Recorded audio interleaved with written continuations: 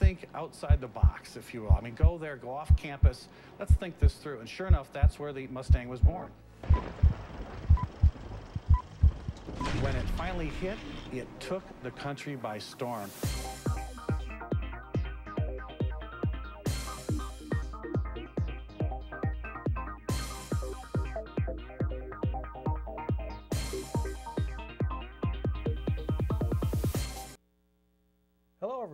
Welcome to another edition of Cars in Context. I'm your host, John Clor. You know, this is the Motor City, and this is the show where we put cars into the context of your everyday life. We love to celebrate the automotive heritage here in Grosse Pointe, but we will make no apologies for our decidedly Detroit perspective. And today we do have a very good Detroit perspective because we're in the midst of a revolution of sorts when it comes to powering our cars and trucks. And the whole question of fuel cells, we promised you on a previous show when we would come back and talk about fuel cells. Are they the future or are they just folly? And to do that, we brought in none other than Chris Sawyer of the virtualdriver.com, the best blog on all of the internet. I certainly think so. Well, and it's good. it doesn't matter what anybody else thinks. That's thinks. right. No, it does. It does. Because, Chris, the difference is, uh, it used to be back in the day when we went through automotive journalism, you had to be a pro. You had to be paid for it. You, you went to school for it. You, you researched it. You did your homework. Nowadays, you got a laptop and an opinion and a computer, and you're off and running. But that's Works why, for me. doesn't. But so we're going to talk with Chris about fuel cells and see if they really are folly or if they're the future. But first, we have to find out something. What's in the news? Yes, Chris, that's absolutely right. But I'm going to start off by talking about another one of our favorite topics electric vehicles. Oh, God help us. So, apparently, folks, I know you know this. If you've been watching our show, and if you haven't, you've got problems that I can't solve for you. you should watch our show. There's trouble out there in EV land. Really? Yeah, yeah. Uh, uh, and we've been pointing this out in previous shows all along. We were right? Yes. Why don't my stock picks work this way? That's, you know, that's a great question. That's a different show, I think. Oh, darn. Uh, sales of electric cars are nowhere near where the government wanted them to be. Kel Surprise! Love it when you talk dirty. Um, so now French the Obama, dirty. ooh la la, the Obama administration has now begun to shift its support because of the sales debacle uh, away from EVs, and now what they're doing is pushing them toward fuel cell cars. Did they know we were going to have a show today? Who They called. Washington D.C.? I, well, the NSA is probably listening to us anyway, so that doesn't really matter. Well, no, this actually happened a long time ago because former Secretary of Energy Steven Chu was admitting as early as last year that the feds need to put less emphasis on the EVs anymore and now put more emphasis on fuel cells. And funny, they haven't offered any new credits, any electric car credits, since the time he mentioned that. Hmm. Oh, that's going to screw the market. It sure will. Well, now, now think about that because now uh, Tesla, uh, because of the California Air Resources uh, Board's uh, consideration of slashing EV credits, let's just dump it. They said it can't. We can't sustain it. We're not going to sell that many cars. And if they dump those credits, Chris, what's now, Tesla could see credits drop 40 percent. That that really subsidizes their sales. Yes, they do. And I make a prediction California will mandate electric vehicles once again, and then after that, unmandate them just like they did last time. Wow, because you know that uh, we already had uh, a show about how you just can't make money on things that the people aren't buying. And Well, Tesla itself does make money. Despite what he says, he doesn't make enough money to continue it. Why don't you talk a little bit about Mr. Elon Musk's Tesla company?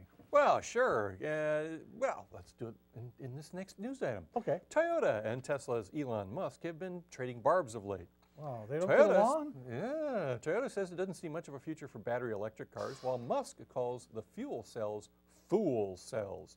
Oh, how cute. He called them fool cells. And says they're a load of rubbish, mostly because of the cost of producing them. oh, like batteries aren't expensive. As a rebuttal, Toyota announced the price of its fuel cell car coming in next year in Japan. It's 7 million yen, or Se- about $68,000 at today's no, wait a minute, that's a good deal. Seven million yen. I thought it'd be ten Tesla. million yen. Toyota's fuel cell is said to have a range of about 430 miles, more than a Tesla, and most importantly, the car can be completely refueled in three minutes. Try to recharge that battery. Who's the fool? Because of California's Zero Emission Vehicle Program, automakers must sell EVs and fuel cell cars even though there's no way to make money on them. We've been down this road before, haven't we? Well, wait a minute. That's I don't understand how we thought they would cost unless you have a real yen for these things. We thought they would be they were going to be hundred thousand dollars. Yes, because about uh, So they- about the time GM was going into bankruptcy, the cost of a fuel cell stack was $150,000. So it has come down. It's come down. It will come so down so more. Tesla's saying you guys are a bunch of idiots, Toyota, putting your money there. and he's going to put up this giga factory for these batteries, Batteries. of his. And let me let me make a prediction for you. We will have electric cars. We will have fuel cell cars. We will have hybrid cars. And and Tesla will be selling his batteries. And there, one there's, we will still are going to have mostly cars with internal combustion engines. that makes you, pe- doesn't it? That's just wrong. What about the fuel cells? That's what today's show is about. In fact, I got a news item here that says people are cashing in on them right now. Honda. Good luck with that. Yeah, well, Honda's joining Toyota to introduce their fuel cell vehicles in Japan next year. They have then- to. See? And according to Japan's Nikkei newspaper, Yep. which is my Bible, yeah. Okay. Uh, initial prices for the Honda fuel cell car will be almost $100,000. Must Thank have more you. stuff on it than the Toyota one. I don't know. But by next decade, Japanese automakers hope that prices will drop to about $50,000. The report said that the two companies plan to build about 1,000 fuel cell cars and sell them in US, Europe, and of course Japan later in 2015. So that's only like next the end of next year. Hyundai, incidentally, has already sold its first hydrogen-powered Tucson crossover in the United States. It was out in California. Uh, they offer this. Check out this deal on the Hyundai uh, the Tucson crossover fuel cell car. $499 a month lease, only in California, which includes unlimited hydrogen refueling for three years. Well, they have to because there's like what 12 hydrogen stations, Well, and they're all within a, a small corridor in California. we got to know where to go, Chris. Oh yeah, I, I tell you, they're telling you where to go. Okay. okay. Come on, tell me something about some other fuel. I can't take Okay. anymore. Propane. Oh, propane. We used it all summer. There's something Don't you wrong hate with when the neighbor- Hill. When the neighbors are over for the 4th of July and you fire up the propane bill, then it goes, I'm out. What? And then you got to go to Lowe's. I mean, just, done that many times. where are the hot dogs? Sells in bulk, bulk for about $1.50 a gallon, Well, that's how- and that's why it's being used. Uh, is its use is expanded in commercial vehicle truck market. Yeah, a lot of During trucks a are- recent National Truck Equipment Association conference, or as we like to call it, NT, people think you're smart when you use acronyms like I that. lo- yeah. UPS, another acronym, look how intelligent I am, announced that it will buy 1,000 Freightliner trucks powered by a 6-liter GM V8 that runs on propane. A thousand of them? A thousand of them. Hey, that's as many as they're selling of these fuel cell vehicles. but a big expansion of propane use in commercial trucking could cause, cause supply issues in the home heating industry, which has suffered funny, shortages and price spikes last winter. Yeah, out remember last east. winter? Out east. Eh, Yeah, it's out east. propane. They couldn't get propane last year because the, the price was, went up and there was a shortage or something, and people were saying, "Hey, it's cold." Logistics more than anything else. Perhaps CNG may be a better way to go. Our supply of natural gas seems to be more stable than that of propane, especially since we have 533 years of natural gas, and that's a conservative So, estimate. Chris, why doesn't somebody just pick the playing field and let's do it? Because the government's involved. They don't let the market No, dictate. no. Shame on you. Anyway, I've got something. Here's some really big news. Yes, Toyota, yes. they've got gas. Really? Must they have nachos for dinner? No, they didn't go to Taco Bell. No, As you know, automakers are working on, I mean, they're working on a billion ways Okay. to reduce vehicle emissions, but that's not the only area where the industry's trying to become greener. So I'm not making this up. This is all 100% true. You can, you can check it if you don't believe me. Toyota has just teamed up with a local landfill next to their plant in Georgetown, Kentucky. They Yeah, this is pretty common in the right, auto so, industry. So they're going to use gas collected from the landfill, which is usually what methane. right? Methane, yeah. Which usually is And they're going off. to, they're going to, yeah, they, that's right. They Yeah. have, but now this time they're going to capture the gas and then collect it and store it and then use it, uh, ship it over to the plant, use it in fuel generators to provide electricity, which will later run the plant. that's a great idea. Yeah, and they said uh, Toyota estimates that the landfill gas will, will provide enough power to build 10,000 of the 50, 550,000 vehicles the plant can build. Uh, and it should begin sometime early next year. So they're going to take the gas out of the landfill, capture it, and then run, use it to run electricity. They should use the same system in the commissary over there too. Don't try the meatloaf. But anyway, so I'm just telling you, folks, this is the kind of great stuff you can only get on Cars in Context, but we have even more fun stuff. car trivia. Yeah, we have uh, part of our, our weekly trivia contest is to give someone out there an opportunity to prove how smart you are when it comes to cars. So we have our weekly trivia contest, and this week we got a tough one. Okay. All right, so we're going to ask you this question, and we want you to put your thinking caps on, try to figure out the answer. When we come back, we'll give you the answer. All right, so here we go. My, Ready? my cap's on. All right, here we go. What was the first car fitted with an alternator rather than a direct current dynamo or a generator? What what came out with an alternator first? The dynamos were really big. That's how they created electricity. It was direct I know the current. answer. See, and I hate when he says he knows the answer. You know what, folks? This is why you want to stay tuned after the break because when we come back, we're going to put Chris in the driver's seat about, yeah, yeah, it's true about fuel cells, but we're going to ask him, we'll see if he knows the answer to this question right after this.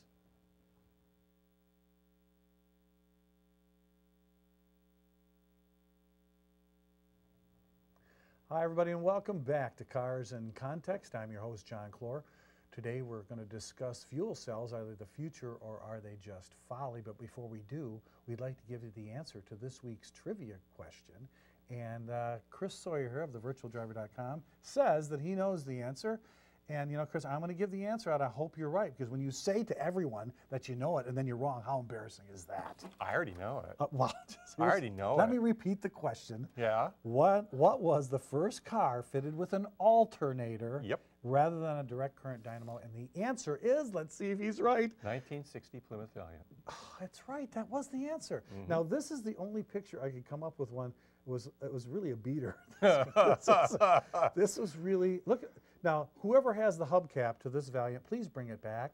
Oh, or the rear tire, for oh, that matter. Oh, wait wheel. a minute. Okay, It could be in a junkyard. The windows. Uh, it's hard to find a picture of a 60 Plymouth Valiant. You know, you know what? I, I really want to get my hands on one of those. Why? Because I can make money off my brother Ron and or Jim for that matter, the two big U of M fans. Yeah. I'm going to get one of those. I'm going to completely restore it. I'm going to paint it Michigan blue with yellow pinstriping, and right over the name Valiant, I'm going to put the words "Hail to the Victors." So And it will the- be the "Hail to the Victors Valiant." Oh my lord.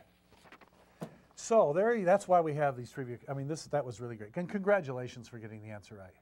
That's, I have to get something right sometime. But no, we are hoping you're going to be right about today's show topic. It's time to put you in the driver's seat and let you. I mean, let's. I want that steering wheel that little girl has. All I'll tell you what. I, I, I'll tell you what. If you keep appearing on on Cars in Context, I will give you the steering wheel. I have a steering wheel. Okay. I'll bring it in, folks. And all I can say is, who the hell else would show up on the show? That's true. Holding, holding a steering wheel. That's true. All right. So the question here is that uh, we've been talking about this for, for a couple of years now. Technology is improving. Yep. Prices are going down. We just heard in our news items what's happening. There are people are going to go forward with this, uh, uh, if we like it or not, Chris. The question is, fuel cells. It's a technology like electric cars, like alt fuels. Is this the future, like everyone says it is, or is it just folly? It's part of the future, and I, I think it's more of a, it, it has more legs to it than than a true electric, you know, battery-powered vehicle because Really? battery is just a storage medium for the electricity, Okay. and it takes a long time to put that energy back in. Mm-hmm. A fuel cell vehicle, sort of, it, it, it's much the same thing. It's, it's if you take the Volt, for example, which is uh, a fuel cell vehicle with an internal combustion engine in place of the fuel cell, you take that, that internal combustion engine out, you put the fuel cell in. There's your drivetrain for a fuel cell vehicle, and what it's doing is it's got the batteries as a storage medium, but it's and it's using the fuel cell to continue to charge them. Okay. And you have continuously charging while it's going through until it runs out. The, the energy that's already in the batteries, plus it's in the fuel cell uh, uh, and coming through its, its hydrogen uh, development. Then the nice thing about a fuel cell is it's just like a gasoline powered vehicle. You take it to a, to a station, you open the cap, you put in the, the, the hydrogen line, you fill it up. About three minutes later, you're out the door and you're going al- along the road until it, instead of 26 minutes for a really fast charge for a battery or overnight. Right. You don't want to fast charge your battery anyway, you'll, you'll ruin it over time. Yeah. So it does make a lot of sense. You know, But Yeah, let, us get to that part. Let's get to the but because But, and we big had a picture on our in, on the news section of how these work. Mm-hmm. Uh, so I, I understand that that's straightforward, but there's always a catch. There are a number of catches right now, and okay. and one of them is is the we use protein ex, ex, uh, electron uh, exchange, Exchange, membrane, mhm. a PEM, and that PEM is actually thinner than Saran wrap, um, so it, it you have to be really careful on how you use it, And they, it, it's been only until recently, and I think it was Honda that finally uh, was able to crack it. They didn't work in cold weather. They didn't work at all. Yep. Um, so you had to have a heater on board. Well, Honda, I think, has found a way around that. And um, then there's the problem of where do you find the hydrogen to fill it up with? Yeah, that's a real stickler, and I think a lot of people are worried about these cars. We have what, 10,000 Well, gasoline stations or something like that in the United States? I don't know. If you gave me a hydrogen car right now, where would I go? I'm in Grosse Pointe. I don't you would have go nowhere because the only place you can you can Where? you can refill it right now Is where? is at at one of the uh, test tracks for the big three, or at uh, um, Consumers or DTE. They have a place downtown. It's totally crazy, Chris. And uh, in California, there's Yeah. I think 12 stations. And So- there, what really needs to be done, the, the only place I agree with Elon Musk is Elon Musk is putting up his supercharger stations all over the country. right, that's a good And idea. he's paying for that. Right. Uh, for a lot of it. Which is what it should be. It Which should be the government it, doing It should it. not be the government doing it. What we need to do now, if we're going to make this work, is we need to find a way to to create hydrogen in a way that makes sense. And oddly enough, coal is a great way to do it. I hate to burst the president's bubble. Um, and it would be a very cheap way to do it. and right. you would also be creating the CO2 that we could recapture and turn into gasoline so that the rest of us would be, have another line of gasoline that we could use. Um, but the, uh, the thing of the, the, the fact of the matter is that if I was Elon Musk, I'd also be making sure that my supercharger stations had the capacity to take hydrogen because Ooh. pure electric is never. And you can. Oh, are we these words making a prediction not, These Chris? words will not hound me when I'm dead or even when I'm alive. Okay. Right. Pure electric vehicles will never take the place of internal combustion or fuel cells or whatever because they are just a storage medium. No matter how good they get, the theoretical is not what you will see in terms of practical. You're only going to get this on Cars in Context when we bring in Chris Sawyer and the virtualdriver.com. I mean, Chris, this I like fuel cells. I've driven ah. the fuel cell vehicles. I hate the fact that they're only automatics. I'm sorry, I like manual transmissions, but that's me.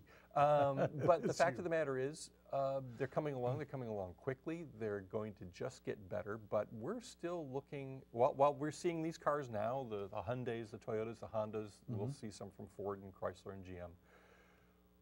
We are not going to see these things in volume production. And for me, volume production is when you get above 20,000 units yeah, a year every year. thousand of them. That's just ridiculous. Um, we're not going to see that for another 20 years. Whoa, whoa. Well, I was just recently at uh, an automotive symposium where uh, they were asking people on the street about, and uh, Are these the same people they asked who won the Civil War and some of the people said the East? It, it, Chris, this is what I'm trying to tell you. It was those same people, because this uh, this young lady was very uh, adamant that she wants to buy an uh, alt fueled car, and she hates oil, and There's she said nothing we've to never hate gone to oil." war over solar. And I said, okay. And then We don't need to go to war over oil. we have all the oil we need here right I now. fear I've wakened the sleeping giant. 1.4 trillion gallons I- we I- know about, or barrels we know about. What all they said to her was, "Would you consider uh, hydrogen-powered fuel cells?" She goes, "Hydrogen, isn't that what blew up the blimp?" And so, folks, know that was helium. so good. No, helium didn't blow up. no, it didn't blow. up. It was a spark. It was, it was hydrogen in that It was one. hydrogen in that one. So, But, but let's, let's not talk about the fact that what they covered it in was, is, is, is The something static we- no, electricity? No, no, What they covered it in, the silver on, on, on, the, on the Zeppelin, Oh. that it, in, in the concentrations they used was, was less, but we call it thermite. It's an explosive. oh my goodness! So when the, when, when the static charge took off on it, Hmm? that's what went up first. Don't you just love Google? Ah.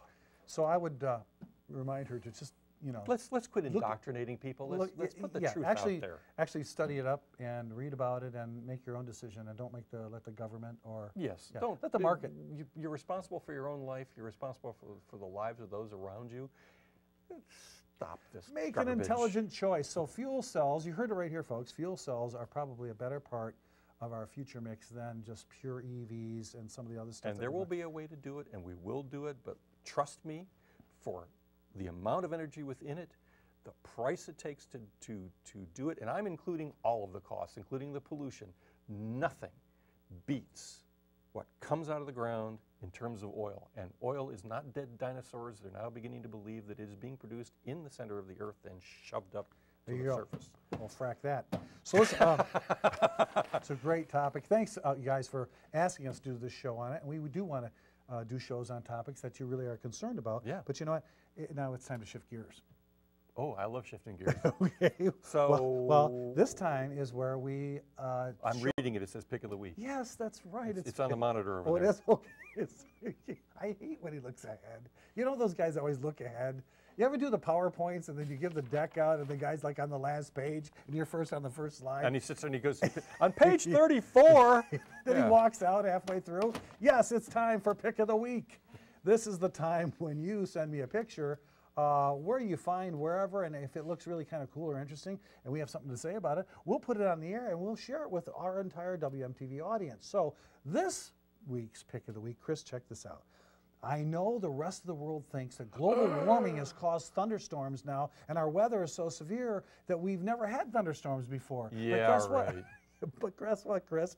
This Pull is a picture out. from a Chicago neighborhood in 1963 where a thunderstorm came through Oh, and wreaked poor havoc. Falcon. That little poor Ford Falcon was in the wrong place at the wrong time and that's absolutely lost a tree. And the guy, now, I don't recommend if you're cutting a tree, this could have been, if they had YouTube back in 63, the guy walking up there trying to cut that tree off at the top of the branch. That, That's sort of like that guy in that insurance commercial who drops it on the Camry next door. that's, I always love that because that, that thing comes down absolutely straight. Yeah, I don't know if I would cut the tree that way. I would just call like Bob Schomer's tree service or something. Yeah, exactly.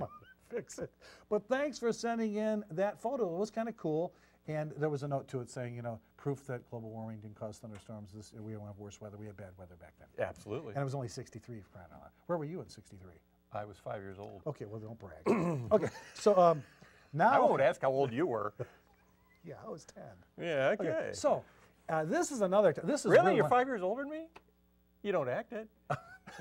My wife says I act 19. Uh, but that's a whole nother show. Come on, Pride and No, Ride. So yes, it's time, now it's time for Pride My Ride. This is your chance to shine on cars. Don't you and hate when I'm on this show? No, I love it. You can now send in a picture because you always were able to do that, no matter you know when. We started this Yep. a long time ago, where you have a photo of a car that you have pride in. You send it to us, and we'll put it on the air. and We'll tell your whole story. So this week, Pride of My Ride is sent to us by a guy named Gary Kimmel. Gary has this 2002. You ready for this? He calls it the stop. Really? Stop. Stop chuckling. He calls it the Bat Bird. He took a 2002 Thunderbird. Now Holy he's- bat, something else. he, he went to the mall and he, I guess he turned left during the door. No, it was actually during a car show on display at the mall. But he turned his 2002 Ford Thunderbird and he parked it next to the real Batmobile at a car Which car used show. to be a Lincoln Futura. You're right, which we had on the show recently. Yeah. So he wanted to make his little T-Bird, it's Bat One in Gotham City. See his license plate? Gary lives in Cumberland, Maryland, and we met him uh, at uh, the Eyes on Design show in Grosse Pointe, and he wanted to show us his picture of his 2002 Batbird that he has very much pride in. Can you believe that car? Now, him here's what I hear about it. Those pieces on the, the, the rocket launchers on, they all come off where you can drive his car normally. So he'll be able to sell it when it comes forward because sometimes that's a little hard to do with those. Most popular guy in the neighborhood with his kids when he goes Oh, down the I street. bet. Yeah, really cool. I bet. You know, I wouldn't mind turning my one of my used beaters into the Batmobile if I could, but you know, I'm not very good at that. Paper mache doesn't last on Jefferson Avenue doing. I don't know if Mustang 2 Batbird. hmm. So, so wait, there's even a better part of the show. Oh, yes. It's Yeah. time for Lauren to come up and Yeah, read her Lauren mail. Parrott, who has her own show on WMTV called What to Do at the War Memorial. Lauren, is it true we have viewer mail this week? I looked so You know, I should talk to you to find out what to do at the War Memorial because when I show up here early and John's always late, I'm just sitting here not knowing what to do with myself. What to do? Lauren finds out what to do is find us viewer mail.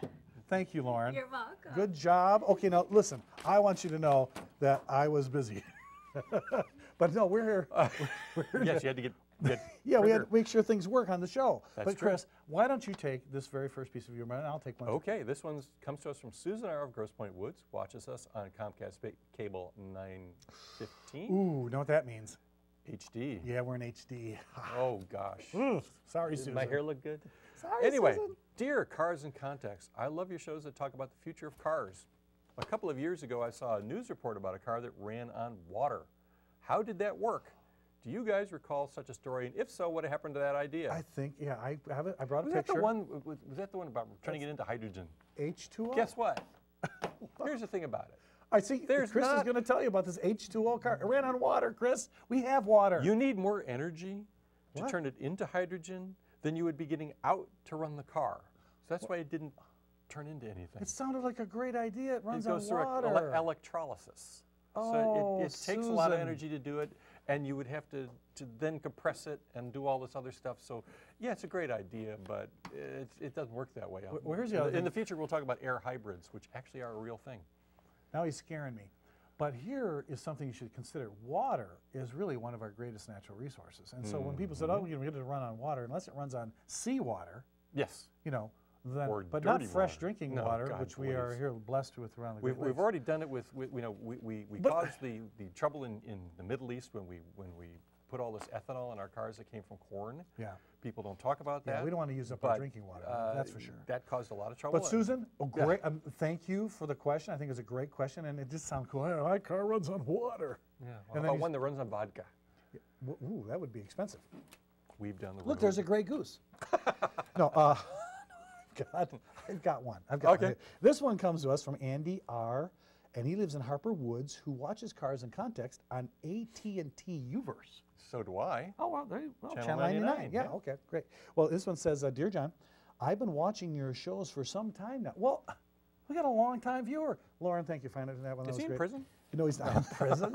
and it seems to me that you guys are just contrarians, always taking the opposite side of the more popular points of view on various topics. Do you guys really believe what you say, or are you just trying to boost your ratings by making people upset? Did we make you upset, Andy? I'm guessing we did. What did we do? No, we're not contrarians. No, no. Um, uh, I, I go back. I go back to uh, to, to something that's going to sound a little funny, but but Saint Alphonsus Liguori was asked once about uh, the the fact that he was asked to give advice to this woman about her life, and he gave her some very blunt advice.